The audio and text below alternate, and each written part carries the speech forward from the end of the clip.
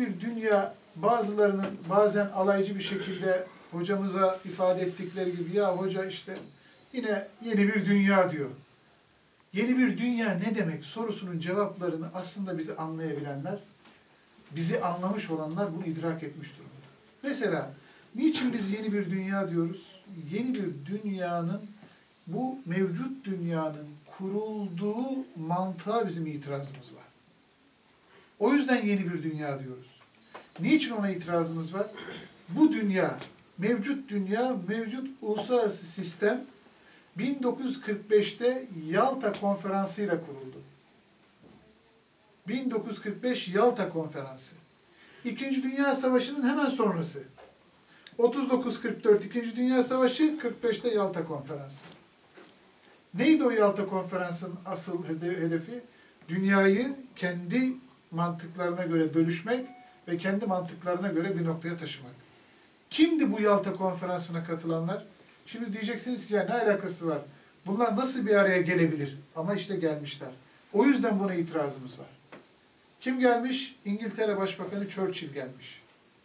Kim gelmiş? ABD Başkanı Roosevelt gelmiş. Kim gelmiş? Sovyetler Birliği Başkanı Stalin gelmiş. Üç tane başkan. ABD ve İngiltere kapitalist dünyanın temsilcisi, Sovyet Rusya sosyalist dünyanın temsilcisi. Ya bu üçü hangi mantıkla, hangi iradeyle acaba bir araya geldiler? Bunları bir araya getiren nokta ne? İşte bizim itiraz noktamız burası.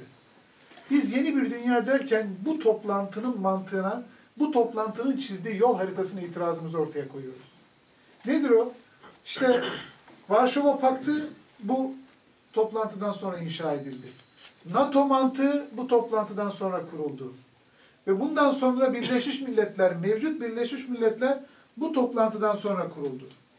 Öyle bir Birleşmiş Milletler kuruldu ki burada beş tane daimi üye var. Çin, Fransa, Rusya, İngiltere, Amerika Birleşik Devletleri.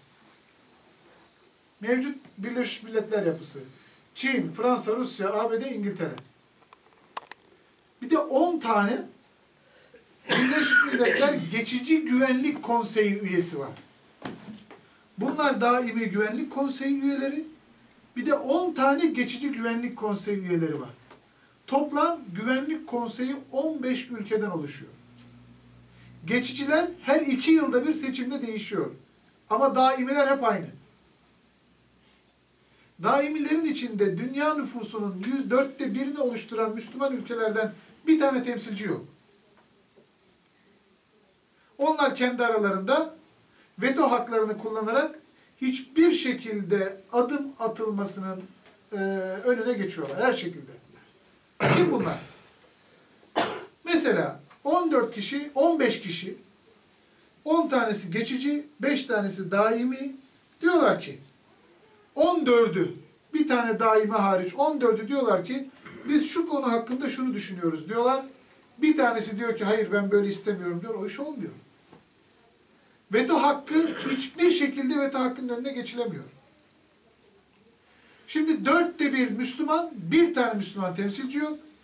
Dünya coğrafyasının neresine bakarsanız bakın, hangi problemli bölgeye bakarsanız bakın, Müslümanların başı belada. 1900 bir önemli nokta onu ifade edeceğim. 1945 Yalta Konferansı 1948 İsrail'in kuruluşu. Bu toplantı aynı zamanda İsrail'in kuruluşunu da temin eden toplantıdır. Yani hem Rusya, hem ABD, hem İngiltere. Üçü, üç yıl sonra kurulacak olan İsrail'in kararını alabiliyor. Niye? Çünkü 1917 yılında Balfour Deklarasyonu denilen İngilizlerin böyle çok böyle sinsi bir şekilde planladıkları oyunun ikinci perdesi 45 sonrası 48'de oynanan oyun. İsrail'in kurulması için iki tane dünya savaşı çıkarılmıştır. İki tane. Birincisindeki mantık şudur. Osmanlı İmparatorluğu'nu da tarih sahnesine gömen e, o savaşındaki mantık şudur. İsrail'e toprak temini yapmak. Osmanlı tarih sahnesinden çekilmeli ki İsrail'e devlet kuracak bir alan bırakılmalı. İkincisi çok önemli. İkincisi de İsrail topraklarına nüfus göçünü sağlamak. Bu ikisi çok önemli stratejik karar. Birincisi toprak temini, ikincisi nüfus hareketliliğini sağlamak. Şimdi bütün bu mantığı ortaya koyduktan sonra yani yeni bir dünya diyor.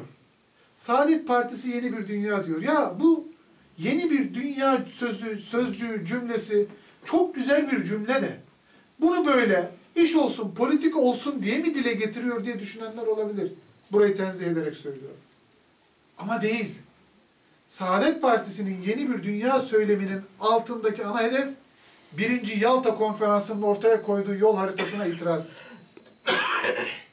Çünkü birinci Yalta konferansında ortaya koyulan yol haritası aslında son 300 yıldan beri bu dünya insanlığına kan, zulüm, gözyaşından başka bir şey getirmeyen mevcut Batı medeniyetinin ortaya geldiği sona gel son merhaledir. Getirmemiştir. Niçin getirmemiştir? Çünkü son 300 yıldan beri mevcut Avrupa, mevcut Batı medeniyeti kendi teknolojilerini, kendi ağır sanayilerini çevirebilmek, ona gerekli ham maddeyi ve enerjiyi sağlayabilmek adına gittikleri Afrika'da, şurada, burada, Asya'da gittikleri yerlerdeki insanları koloni haline getirmiş, onları birebir köle haline getirmiş ve onların elindeki yeraltı zenginliklerini ve bütün zenginliklerini alarak Avrupa'ya taşımış, kendi sanayilerini kurmuşlardır. İçimizde sanayici abilerimiz var. Ne demek istediğimi daha iyi anlayabilirler. Teknoloji dendiğinde ne demek istediğimi daha iyi anlayabilirler. İşte Saadet Partisi o yüzden yeni bir dünya diyor. Yeni bir dünya söylemine şu da değil. Bizim inancımıza göre hepimiz elhamdülillah Müslümanlarız. Bizim inancımıza göre mazlumun dini, dili, ırkı, mezhebi, cinsiyeti, yaşı olmaz. Bir mazlumsa o mazlum bizim için mutlaka yanında olunması gereken kişi demektir. Biz mazluma din soramayız. Niye? Mazlum. Masuma din soramayız. Niye? Masum. O yüzden biz yeni bir dünya derken, İslam birliği derken şunu da söylemiyoruz. Eğer bak işte Hristiyanlar, bak şunlar, bak bunlar. Yarın bir gün biz ipleri elimize geçersek size öyle bir şey yapacağız da demiyoruz. Biz bunu söyleyemeyiz. Bizim inancımız buna engel. Niye? Biz çünkü adaletle hükmetmek zorundayız. Biz biz adaletle hükmettiğimiz için 600 yıl boyunca dünyaya barışı ve adaleti getirdik diyebiliyoruz. Bir tane hoca yanında yani ileri gelen kanaat önderi seviyesinde bir hoca e, yanında birkaç arkadaşıyla beraber Avrupa'da muhtemelen Almanya'da bir e, şeyde gezerken e, şehirde gezerken namaz vaktinin çıktığını e, anlıyorlar. Namaz vakti çıktığını gördüklerinde ya diyorlar ki namaz kılacak yer o esnada bir kilise görüyorlar. Kiliseye gidiyorlar, kilisenin papazına söylüyorlar. Kilisenin belli bir bölgesi işte bizim e, namazımızı eda edebilmemiz için uygun hale getirilecek belli bir bölgesi de papaz bunlara izin veriyor. Geçin namazınızı kılın diyor. Geçiyorlar namazlarını eda ediyorlar. Namazlarını kıldıktan sonra papaz yanlarına geliyor. Diyor ki bak ben ne kadar e, hoşgörülü davrandım size. Bak kendi ibadethanemi açtım. Siz geçtiniz kendi ibadetinizi yaptınız. Peki ben bir Hristiyan papaz olarak İstanbul'a geldiğimde ibadet yapmak istesem bana camini açar mısın diyor. Hoca diyor ki açmam. Niye? Diyor ki Camiler hep açık zaten ya. ibadet için kastı. Niye? Çünkü diyor ben Hazreti İsa'ya, Hazreti Musa'ya hak peygamber olarak iman etmiş bir inancın temsilcisiyim. Ben onlara iman etmişim. Benim onlarla problemim yok. Sen de Hazreti Muhammed'e peygamberime iman et, sen de camiye gel. Evet. Bunu niçin söyledim? Kudüs, Mescid-i Aksa, Filistin Siz gittikten sonra, siz oradan çekildikten sonra kan ve gözyaşı içinde. Ama sizin zamanınızda 1917 öncesinde 11 kişilik bir manga asker orayı idare ediyordu. Hristiyan kilisesine gidebiliyor, Musevi sinagoga gidebiliyor ama aynı zamanda Mescid-i Aksa'da gümbür gümbür namazlar eda edilebiliyordu. Ama siz çekildiniz, kan ve gözyaşına döndü. Niçin? Çünkü onların ana mantığı sizi tanımayan bir mantığı var.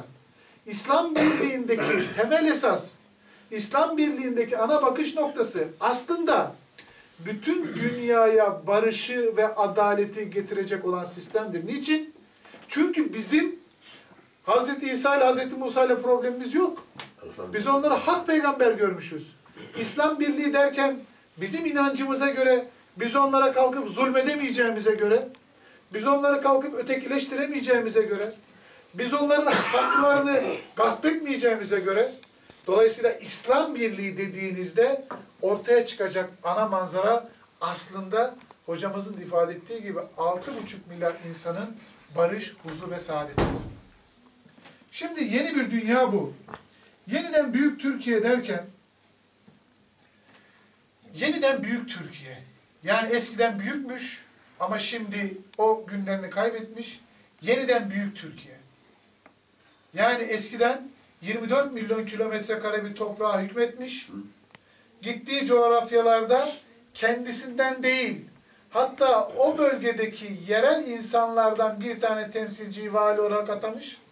Ona rağmen sadece yıllık bir şekilde görüşmelerle oralara adaleti götürmüş ve Batılıların yaptığı gibi Nijer'e gittiğinde Fransızcayı, Nijerya'ya gittiğinde İngilizceyi, Fas'a gittiğinde Fransızcayı, Cezayir'e gittiğinde İngilizceyi, Fransızcayı yani gidip de işgal ettiği yerlerde toplumun bütün yapısını değiştirmeden toplumun olduğu gibi bütün dinamiklerine saygı duyarak toplumdaki orada yaşayan insanların her türlü maddi manevi gelişimlerine katkı sağlayan bir yapı inşa etmiş.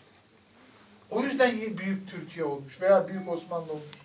Ama şimdi yeniden büyük Türkiye diyorsun. Gittiğin coğrafyalarda kendi dilini dayatmamışsın. Kendi dinini dayatmamışsın. Gittiğin coğrafyalarda ne gerekiyorsa onu yapmışsın. Hatta bazıları, bazı coğrafyalardaki insanlar sadece senin bu davranışından, bu yaklaşımından etkilenerek Müslüman olmuşlar. Senin hiçbir şey yapmana gerek kalmamış. Büyütmüşsün. Adalet götürülmüşsün. Hatta Endonezya'dan varana kadar, hatta uzak coğrafyalara varana kadar senin kelamınla, senin talimatlarınla şekillenen bir dünya varmış. Ama adaletle hükmedermişsin. Ben Nijerya'nın Lagos'una gittim. Nijerya'nın Lagos'unda ortada dolaşırken gördüğünüzde burada dediler ki Abdülhamit'in yaptığı bir cami var. Ney? Nijerya Lagos'ta Abdülhamit'in yaptığı cami. Ben oraya gideceğim. Başka yolu yok. Gittim, baktım. Abdülhamit'in, 2. Abdülhamit'in 1892 yılında inşa ettiği cami var. Nijerya'nın Lagos'unda. 150 yıl önce Güney Afrika Cumhuriyeti'nde Ebu Bekir Efendi 150. yılı oraya gönderilişinin 150. yılı. Güney Afrika Cumhuriyeti'ne oradaki Müslümanların dinlerini tam olarak anlayabilmeleri ve anlatabilmeleri adına Osmanlı adına 20 Osmanlı altını maaşla oraya gönderilmiş. Şimdi torunları var orada. Güney Afrika Cumhuriyeti'nde. Ve şu anda mezarı korunuyor herkes. Niye? Çünkü kimseye dayatmamış. Herkese doğru sözle, doğru lisanla yaklaşmış. Doğru bir şekilde onları e, dine davet etmiş, inancımıza davet etmiş. Dolayısıyla yeniden büyük Türkiye derken biz tarihteki gibi, aynen tarihte olduğu gibi yeniden kendi ayakları üzerinde durabilen, komşularıyla doğru ve eşit bir şekilde ilişki geliştirebilen ve asla ve kat'a ahlaksızlığa, aynı Batı medeniyetinde olduğu gibi ahlaksızlığa ve düzenbazlığa yol vermeyecek bir sistemi inşa edebilen. En son yapılan Amerikan seçimlerinin, çok özür diliyorum, ana gündem maddelerinden biri eşcinsel evliliklerine yapılacak olan yasal düzenleme oldu. Bütün Amerika bunu tartıştı. Eşcinsel evlilikleri biz yasalaştıracağız. Onların önlerini açacağız. İşte mahkemeler önünde şöyle bunun mücadelesini verdi. İspanya'da Anayasa Mahkemesi geçtiğimiz günlerde eşcinsel evlilikleri onayladı. Batı toplumunda nüfus artış hızı eksilere düştü. Artık eksi birlerde, eksi ikilerde. Artık evlat edinme sadece onlar için geçerli evlat yetiştirme formülü oldu. Çok farklı, burada dile getiremeyeceğim ilişkiler neticesinde köhnemiş, kendisine faydası olmayan, kendisine faydası olmayacağı gibi de kendisine yaklaşanları da yakan bir medeniyet haline gelmiş Avrupa. Böyle bir coğrafya, böyle bir bakış açısıyla bizim aramızda bir e, irtibat olabilir mi? E, niçin? Çünkü onların mantığında şu var. Belki izleyenler vardır, genç kardeşlerim de izlemiştir belki, sizler de izlemişsinizdir. Bir Gladyatör diye bir film vardı. Ben onu izlerken farklı izledim. Niçin farklı izledim? Gladyatörlerde böyle e, futbol sahası gibi bir sahanın etrafına toplanmış insanlar, ellerinde kadehler, biraz sonra yırtıcı hayvanlar arenaya çıkartılıyor, önlerine insanlar atılıyor, insanların eline bir tane kılıç, hadi parçalayın birbirinizi deniyor. Parçaladıktan sonra yırtıcı hayvanlar o insanları orada katlettikçe, öldürdükçe onlar tribünlerde sevinç naraları atıyor. Ellerinde şaraplarıyla sevinç naraları atıyor. Kanın, gözyaşının insanları böyle toplumu için yaşayabilen, fedakar olabilen, fedakarlık yapabilen bir anlayış var. O yüzden sizin kalkıp da Avrupa Birliği ile birlikte hareket etmeniz mümkün değil. Efendim kapatalım mı duvarlarımızı? Hayır. Duvarları kapatmak değil. İki buçuk milyon e, soydaşımız Almanya'da yaşıyor. Toplam 4 milyon Avrupa'da yaşıyor. Bu değil. Bu değil. Ama gittikleri coğrafyalarda, gittikleri yerlerde yapılması gereken ne? Kendi medeniyet değerlerine sahip çıkarak bulundukları toplumda azami düzeyde anlaşılır, anlaşılabilir bir yol haritasını kendilerine çizebilmek. Şimdi ben bunu söylerken dikkat ederseniz herhangi bir siyasi değerlendirmeye girmedim. Bilerek girmedim. Niçin? Çünkü eğer biz bu asgari müştereklerde buluşursak, asgari müşterek dediğimiz bu. Şimdi bu çıtanın içine, bu çerçevenin içine hangi siyasi parti giriyorsa gidip demeniz lazım ki, denmesi lazım ki evet ben ne olursa olsun oy oranı şuymuş, buymuş, şöyleymiş, böyleymiş. Benim onun yanında olmam lazım. Eksiği yok mudur? Vardır. Hatası yok mudur? Vardır. Ama özünde, temelinde, ortaya koyduğu söylemleriyle size mevcut durumu kabullenmek, mevcut durumu meşru hale getirmek değil, ne olursunuz? Kendinize güvenin. Kendi ayaklarınız üzerinde durabilecek, kendi medeniyetinizi öne çıkarabilecek bir yapıyı lütfen inşa edin diye bu söylemleri ortaya koyuyor. Saraybosna, aynı zamanda İstanbul. Bakü, aynı zamanda İstanbul. Taşkent, aynı zamanda İstanbul. Bağdat, aynı zamanda İstanbul. Erbil, aynı zamanda İstanbul. Kahire, aynı zamanda İstanbul. Bütün bu etraftaki coğrafyalar var ya, yani deseniz ki, ya ben şu odanın içinde hayatımı devam ettirebilecek durumdayım. Hiçbir kimseye ihtiyacım yok. Gelirim yerinde, her şeyim yerinde. Ben artık benim dışımda ne olmuşsa olmuş beni ilgilendirmiyor deseniz dahi emin olunuz. Sizin genlerinize işlenmiş kodlar sizi bu odada rahat bırakmaz. Çünkü sizin sorumluluğunuz, omuzlarınıza tarihin yüklediği sorumluluk buna müsaade etmez. Yani Bangladeş'te problem var der, siz koşarsınız. Myanmar'da, Arakan'da insanlar açlıktan ölür, siz koşarsınız. Somali'de haritada kendi ülkenin yerini gösteremeyeceğiniz coğrafyalarda insanlar açlıktan ölür, siz koşarsınız. Böyle bir geniş vizyona sahip bu millet, bu coğrafyanın, bu medeniyetin, bu insanların yapabileceği başka bir şey yok. Yani kendilerine güvenmek, kendi medeniyetlerine güvenmek, kendi medeniyetleri üzerinde ayağa kalkabilmekten başka şansları, gidecekleri kapıları yok. O yüzden biz Saadet Partisi'nde siyaset yapmaya devam ediyoruz. Biz diyoruz ki Saadet Partisi olarak biz kendimizi şöyle tarif ediyoruz. 10 dakika sonra bitireceğim sorular olursa alacağım. Çünkü e, şey olmasın, sıkıcı olmasın. Konuşacak çok şey var ama Şimdi birkaç yerde anlattım. Belki sizlerden de duyanlar oldu. Biz kendimizi nasıl tanımlıyoruz? Kendimizi nereye konumlandırıyoruz? Yani bu görevi, şu içinde bulunduğumuz siyasi çalışmaları niçin yapıyoruzu çok iyi ifade eden bir anekdot var. Ben onu ifade etmek, etmek istiyorum ki biz daha iyi anlaşılalım. Şimdi bize toplumda dışarı çıktığımızda sizleri tenzih ederek söylüyorum ya. 1.24'lük parti. Ne işiniz var arkadaş? İşte elmanın yarısı orada yüzde elli. Ya gidin katılın onlara. Bakanlık istiyorsanız var. Milletvekili istiyorsanız var. Para istiyorsanız var. Hepsi var. Var var var var. Gidin diyorlar. Ama bizi anlayabilmeleri, bizi tanıyabilmeleri, bizim niçin siyaset yaptığımızı anlayabilmeleri ancak belki bu anekdotta gelir. Ben bu anekdotu anlatarak belki bu ağabeylerimize, bu kardeşlerimize, bu dostlarımıza cevap vermiş olabilirim. İlhan Bardakçı'yı tanıyorsunuz. Şu malum Habertürk'te tarih. Onun babası vardı. Pardon Murat Bardakçı. Babası İlhan Bardakçı vardı. İlhan Bardakçı 1972 yılında Mescid-i Aksa'ya bir ziyarette bulunur.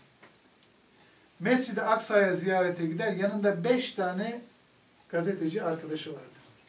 Beş tane. Beş gazeteci arkadaşıyla beraber bir de tercümanları vardır. Eski İstanbul Yahudisi Yasef adı. Tam Mescid-i Aksa'nın duvarının dibine gelir, uzaktan bakıldığında üzerindeki kıyafetin tam olarak ne olduğu anlaşılmayan bir ihtiyarın ayakta sabit olarak bir yere baktığını görür. Der ki Yasef, kimdir bu? Neyin nesidir? Neyin fesidir? Delinin, meczubun teki. Yıllardan beri burada durur. Kimse de niçin durduğunu bilmez.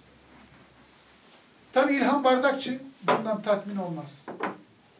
Gider der ki, Selam aleyküm baba der ve aleyküm selam oğul diye cevap olur. Allah Allah. Mescid-i Aksa'nın duvarının dibinde kendisine deli denilen, meczup denilen bir adam ve aleykümselam oğul diye Türkçe karşılık veriyor. Baba sen kimsin? Neyin nesisin? Neyin fesisin diye peş peşe sıraladığında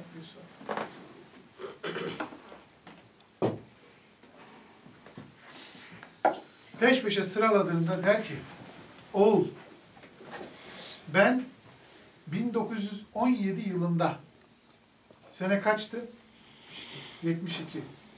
1917 yılında Osmanlı ordusu Kudüs'ü terk ederken komutanı tarafından buraya artçı birlik olarak bırakılan 11. makinalı takım komutanı Iğdırlı Onbaşı Hasan.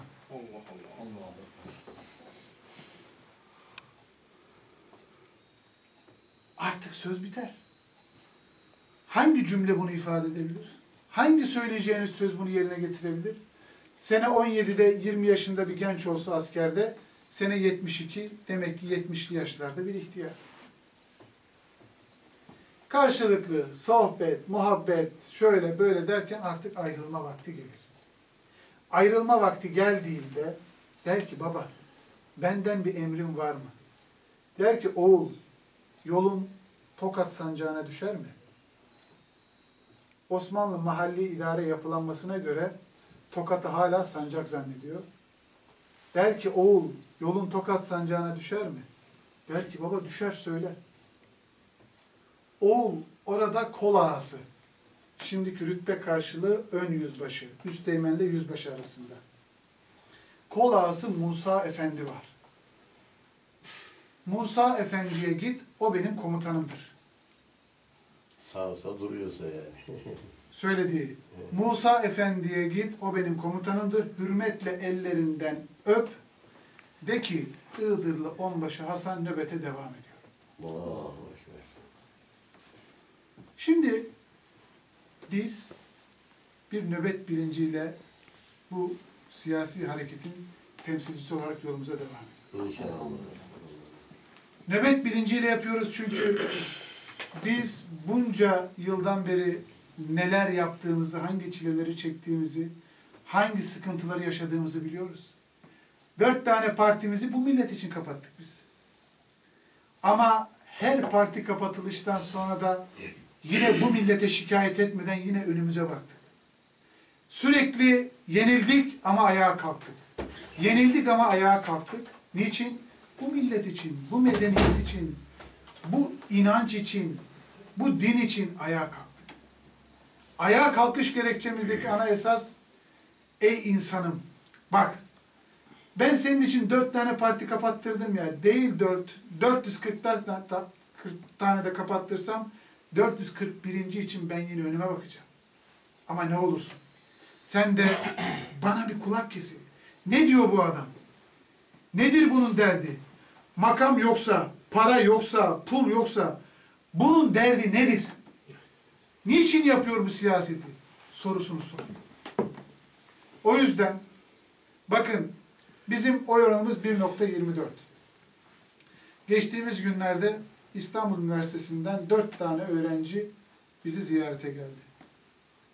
12 tane yüksek lisans öğrencisinden 4 tanesi bizim düşünce dünyamızla yakın ilişkisi olmayan arkadaşlar bunlar. Dört tane üniversite öğrencisi kendilerine tez konusu olarak, yüksek lisans tezi olarak Saadet Partisi'ni almışlar. Sunumları vardı 5 Aralık'ta. Sunumlarına ben iştirak ettim. Sunumlarında baktım ki Saadet Partisi'ni tarihi itibariyle öyle bir şekilde anlatıyorlar ki o anlatmalar neticesinde dedim ki yani ben ayrıldıktan sonra döndüm o dersi veren hocaya sordum. Hoca dedi ki yani Saadet Partisi'ni bu şekilde olduğunu bilmediklerini ve bu zamana kadar bu eksikliği yaşadıkları için de kendilerine kızdıklarını söylediler. Şimdi 1.24 ama toplumdaki karşılığına baktığınızda asla 1.24 değil ve emin olunuz çok kısa bir sürede, çok yakın bir gelecekte Saadet Partisi bu söylemleriyle, bu eylemleriyle kendisini ortaya koyacak ve çok sürmez. Niçin biliyor musunuz? 1991 yılından önce Saadet Partisi meclis dışındaydı, Refah Partisi. 91'de ittifakla seçime girdi. İttifak neticesinde yüzde 16.10 oy aldı. 91 seçimlerinden tam 3 yıl sonra 27 Mart 1994'te İstanbul ve Ankara dahil e, belediyeleri aldı. Yüzde 19.10 oy aldı. 91 seçimlerinden önce meclise girip giremeyeceği tartışmalı olan bir parti 94 tam 5 yıl sonra 4 yıl sonra İstanbul ve Ankara dahil e, bütün belediyeleri aldı. Yüzde oy oranını da yüzde 19.10'a çıkarttı. Tam bu seçimlerden bir yıl sonra da 95'te yüzde 21.2 ile Türkiye'nin birinci partisi oldu. Hiç kimsenin hayal edemeyeceği bir şeydi bu. Belki 91'den önce bize de söyleseler, deselerdi ki 95'te Türkiye'nin birinci partisi olacaksınız. Bizim dahi inanamayacağımız bir noktaya Rabbimiz bizi taşıdı. Şimdi yüzde 1.24 ama çok kısa bir gelecekte hep beraber bunu yaşayıp göreceğiz. Son bir şeyle yaşadığım, kendi yaşadığım bir anekdotla sizlere durumu anlatayım. Yaşadığımı anlatayım. Ondan sonra da sorularınız varsa alacağım. 25 Kasım 2006 yılında biz e, Çağlayan'da bir Papa Gelmesin mitingi yaptık. Papa Gelmesin mitingi. Mitingden dört gün önce İl Başkanımız Osman Yumakoğulları telefonu çaldı, telefonu kaldırdı, kaldırdıktan sonra yaklaşık bir buçuk iki dakika dinledi. Dinledikten sonra kapattı, kapattıktan sonra bize döndü. Dedi ki arkadaşlar Dünya Kiliseler Birliği'nin toplantısı yarım saat önce bitmiş. Pazar günü yapacağımız mitinge kaç kişi gelirse gelsin medya sayıyı 20 bin olarak ilan edecekmiş dedi. Allah Allah. Miting henüz yapılmamış. Mitingden dört gün önce Dünya Kiliseler Birliği toplanacak. Bizim mitingimizi oldu. Şaşırdık. Duyduk geçtik. Pazar günü 376 tane yabancı basın, ben o zaman dış ilişkiler başkanıyım. dış ilişkilerdeyim. 376 tane yabancı basın mensubu bize mitingi izlemek üzere akredite oldu. Orada onların rahat çalışmalarını temin için platform kurduk. Mitingin sonlarına doğru, ortaları geçti sonlarına doğru bir tane Türk basın mensubuna sordum. Dedim ki bu alanda kaç kişi var? Dedi ki 20 bin. 1 milyon 800. Dedi ki 20 bin. Belgesini de göstereyim size. Dedim ya Allah Allah ben bu 20 bin rakamını bir yerden hatırlıyorum. Ama 2'yi 3'ü test edeyim en azından. Diğerlerine de sorayım. İkincisine sordum. Dedi ki 20 bin.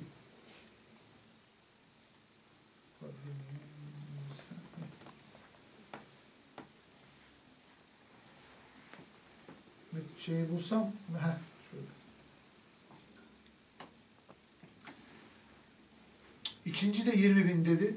Üçüncüye sorduğumda o da dedi ki 20 bin.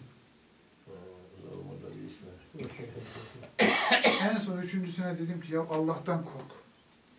Dedi ki niye? Dedim ki ya şu Çağlayan gördüğün arazi 50 dönüm arazi. Metrekareye 4 tane adam düşse en az 200 bin insan yapar. Nasıl dedim ya 200 bin insan da olsa bunu nasıl 20 bin yazacaksın dedim. Bana böyle alaycı bir şekilde güldü gitti. Ertesi gün gazete manşetlerinden biri buydu. Okuyabilen var mı? Hayır, burası alsınlar. 1 milyon dediler, 20 bin kişi geldi diyor. 1 milyon dediler 20 bin kişi geldi. Bu 20 milyon 800 600 milyon. Miting olduğunda bizim oy oranımız yüzde iki buçuktu. Oy oranımız yüzde iki buçuk olmasına rağmen bizim mitingimize kaç kişi katılacağını kararını Dünya Kiliseler Birliği veriyordu. Şimdi oy oranımız yüzde 1.24. Biz onların kendi çıkarlarına ters hareket eden, onların bütün kodlarını çözmüş bir siyasi hareketin temsilcileriyiz. O yüzden bizi milletin gözünden kaçırmaya çalışıyorlar. O yüzden bizi yok sayıyorlar. O yüzden yaptığımız programlarda, yaptığımız mitinglerde bizi 2000, 3000, 4000, 5000 diye ilan ediyorlar. Ama Kadıköy Meydanı'nda birçok Türkiye'de sivil toplum kuruluşunun, siyasi partinin yapamayacağı şekilde 80-100 bin kişinin katıldığı mitingi 5 bin, 10 bin, 2 bin, 3 bin diye gösterebiliyorlar. İşte o yüzden yakın gelecekte yüzde iki buçuk olmasına rağmen katıl e, mitinglerinin kararını ta Dünya Kiliseler Birliği veren bir Saadet Partisi yüzde 1.24 Allah'ın izniyle inşallah İnşallah. İnşallah. yakın gelecekte onların tekrar bu hesaplarını tersine Rabbimizin yardımıyla tersine çevirecek ortam oluşturacaktır diyorum. Dinleme nezaketinde bulunduğunuz için teşekkür ediyorum. Allah razı olsun. Allah razı olsun. Size teşekkür ediyoruz. Allah Rabbim muvaffak eylesin inşallah. Başlarım